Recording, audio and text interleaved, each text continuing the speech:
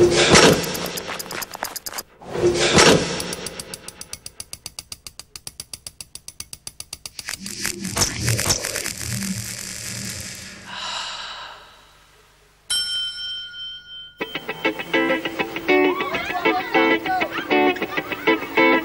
inspires me is uh, the type of serenity that one gets when you're looking at Alex from afar. It's like a small town with a very big heart. Languta languta languta languta languta languta languta languta languta languta languta languta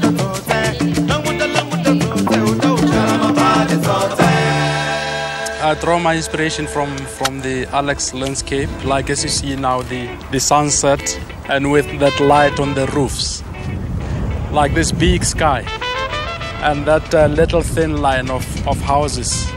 You know, you miss that, that tightness, that tension.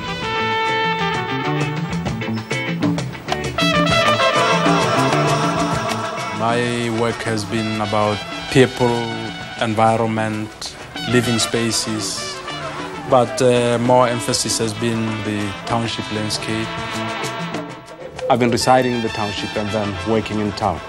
My sort of pattern of doing art has been like sort of from the township to town, township to town.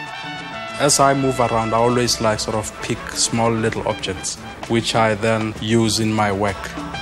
Is trying to capture the feel of a place, like picking that little bit.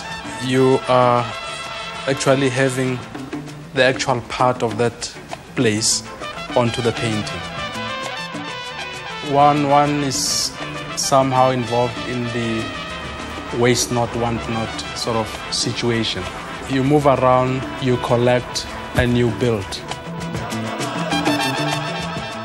The shack people or people who are in need of living space are also involved in the same process, that of retrieving the unwanted and building out of it. But with me, at times it becomes sort of a, a flat thing, and theirs becomes sort of three three dimensional. And now, when I'm getting into my installations, I still apply the same process of picking around and creating those spaces inside a gallery space.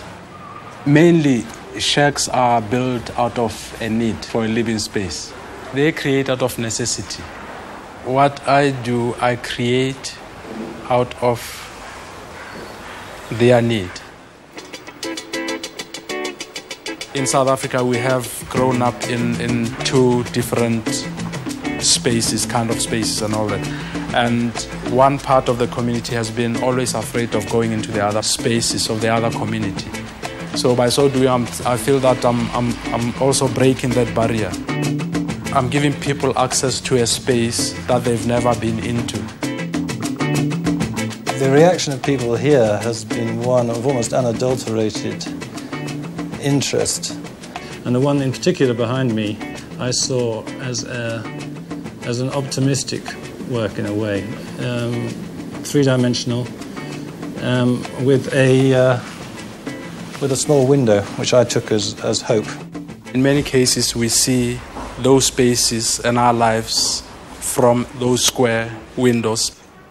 Windows control us. Each time one moves around, you are always confronted with this rectangle whereby you, you enter and then your only communication with the outside becomes a window.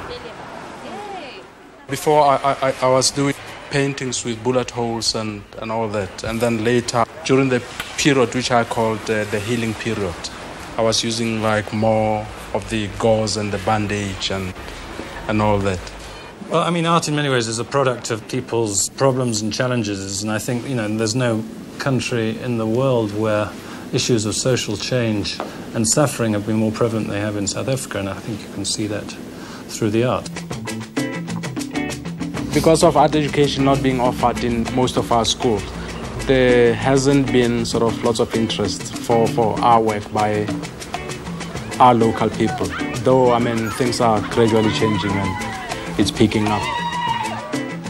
The other problem was having a label. I mean, like like sort of being called a township artist.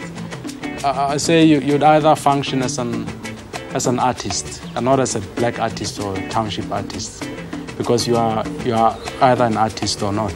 You know.